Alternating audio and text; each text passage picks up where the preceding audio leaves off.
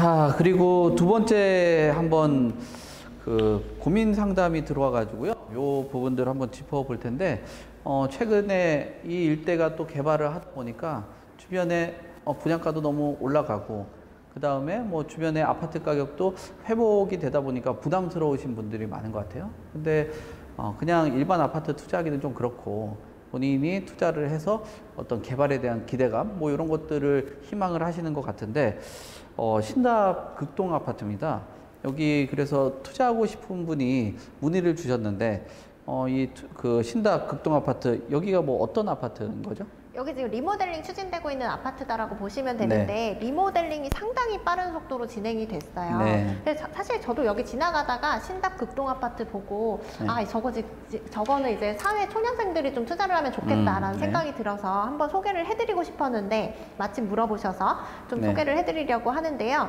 여기는 근데 세대 수는 굉장히 적어요. 그리고 네. 225세대밖에 안 되고 이 리모델링 하고 나서도 뭐 29세대 정도만 늘어난다라고 보니까 200세대 뭐 중반 정도의 이제 소규모 단지다라고 볼 수가 있고 연식은 좀 됐어요. 그래서 1980년, 87년도에 이제 지어진 네. 아파트고 이 용적률이 뭐 303%니까 재건축은 안 된다라고 보시면 돼요. 그래서 리모델링으로 일찌감치 선회해서 지금 사업이 잘 되고 있고 평형 구성은 64제곱미터부터 122제곱미터까지 되어 있거든요. 그래서 평으로 환산을 해보면은 뭐 19평에서 37평까지 이제 구성이 되어 이- 있다가라고 보시면 되는데 여기 장점은 이제 신답초등학교 바로 소품화 단지예요. 그리고 용두역, 신담역, 청량리역이 뭐 음. 다 도보로 접근이 가능하기 때문에 위치적으로는 이제 이전에 설명드렸던 그 음. 청계 리버뷰 자이보다는 더 좋다라고 볼 수가 있겠죠. 네. 근데 추가 분담금이 요즘에 재건축 사업에서도 어, 문제고 발목을 잡는다라고 얘기하는데 리모델링 사업지라고 하면은 더 부담스러운 거 아니에요?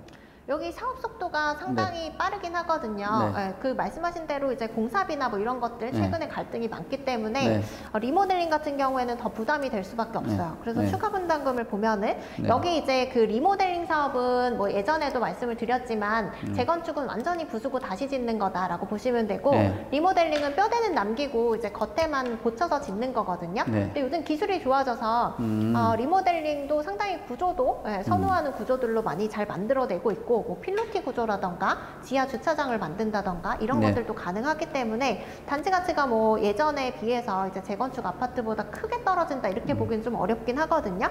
그리고 리모델링은 수평 증축이 있고 또 위로 높- 높이는 수직 증축이 있고 그리고 아예 빈 땅에 짓는 별동 증축이 있는데 네. 대부분 수평 증축이라고 보시면 돼요. 네. 수직 증축 같은 경우에는 시간이 오래 걸리고 또 안전상의 문제가 없어야만 가능하기 때문에 인허가가 잘 안 나오죠. 여기도 마찬가지로 수평 증축을 해서 이제 면적이 음. 좀 늘어난다라고 보시면 되는데 네. 어, 여기 이제 한 다섯 평 정도씩 늘어난다라고 보시면 돼요. 그래서 64제곱미터, 그래서 19평짜리죠. 이런 네. 경우에는 지금 한 24평 어, 아파트가 네. 되고 네. 가장 큰 이제 아파트는 여기서 122제곱미터거든요. 네. 이게 37평이에요. 지금 평으로 환산을 하면은. 근데 이거는 45평이 돼요. 그래서 이 네. 정도로 이제 늘어난다라고 보시면 되고, 그래서 가구별로 이제 전용 면적이 한 20, 30%씩 늘어나는 거죠. 네. 지금 기준으로 하면은. 근데 추가 분담금은 여기가 2억에서 3억 5천 정도로 이제 그 부담을 해야 된다라고 보시면 되는데, 네. 근데 이제 최근에 여기가 사업 속도가 상당히 빨라요. 그래서 네. 2019년도에 조합 설립 인가를 받고 어, 2022년 12월에 이주랑 철거 다 끝냈거든요. 네. 근데 지금 아직도 착공 못 하고 있어요. 왜냐하면 아, 네. 공사비 갈등 때문에. 네. 그래서 여기 쌍용건설이 시공사인데 이제 네. 공사비 기존에 본계약했던 게 600만 원대인데 어, 이거를 이제 800만 원대로 올려달라라고 하면서 이게 봉합이 안 돼서 아직 착공을 못 하고 있어서 앞으로 추가 분담금이 늘어날 여지는 있죠. 근데 여기 그 보실 때 지금 매물 나와 있는 거를 보면은 24평을 기준으로 봤을 때 지금 5.4억, 5억 4천부터 이제 형성이 돼 있거든요. 네. 한, 한 추가 분담금 2억 낸다고 하더라도 지금 7억 4천 정도 되는 거잖아요. 네. 근데 이거를 이제 주변 시세랑 좀 비교를 해봤을 때 입지적으로 좀 그 더 좋지 못한 청계 리버뷰 자이 그 주변을 보면은 어 이제 보통 전용 5구형이 10억 가까이 형성이 되어 있다라고 네. 볼 수가 있어요. 9억대 후반에서 10억 네, 초반. 그렇게 봤을 때는 지금 한 7억 5천 정도, 7억 중반대 정도의 24평을 매수를 하시는 거잖아요. 네. 그렇게 보면은 뭐 어쨌든 투자 가치가 좀 있다라고 볼 수가 있는 거죠. 네.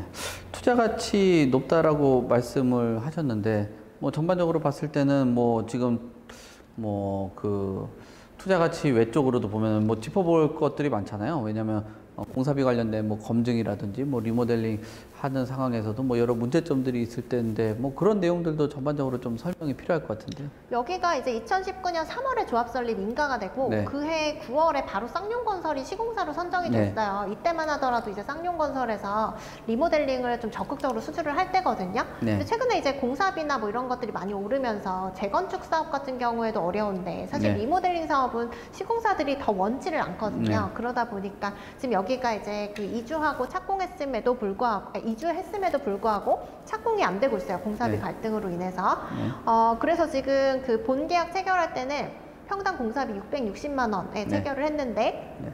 지금 쌍용에서 요구를 하는 거는 평당 870만 원, 그 200만 네. 원이나 증가한 금액인 거죠. 네. 근데 이게 문제는 이제 재건축 같은 경우에는 도시정비법에 따라서 하는 거거든요. 네. 그렇게 되면 이제 공사비 검증 절차라는 게 별도로 규정이 되어 있어요. 네. 그래서 이, 이건 어떤 때 이제 공사비 검증 절차를 요구를 할 수 있냐 조합에서 요청을 하는 건데 네.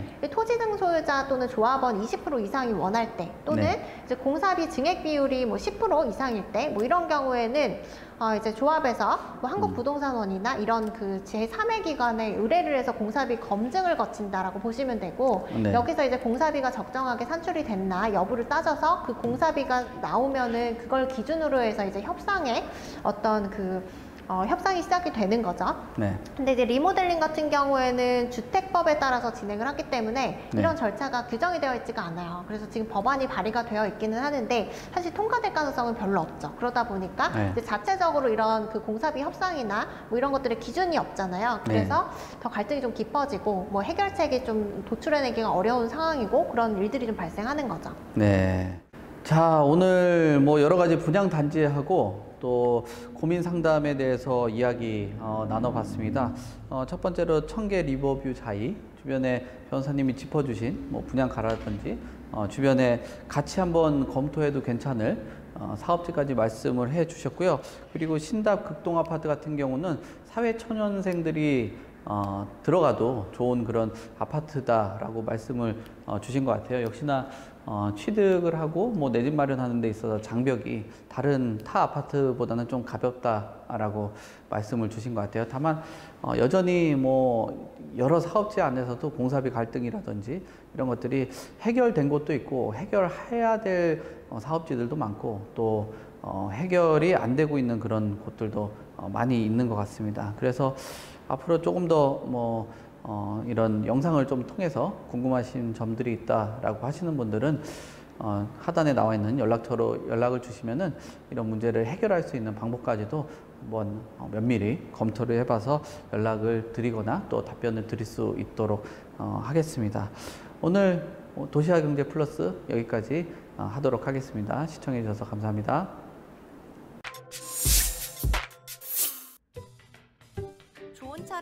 전에도, 이사를 가기 전에도, 크게 다치기 전에도 항상 미리 대비를 해놓는데 부동산은 왜? 사전 점검 서비스는 부동산 매물을 사거나 짓거나 하기 전에 법률부터 부동산 정보까지 한 번에 미리 대비하는 서비스입니다. 영상에 나오는 연락처로 많은 신청 부탁드립니다.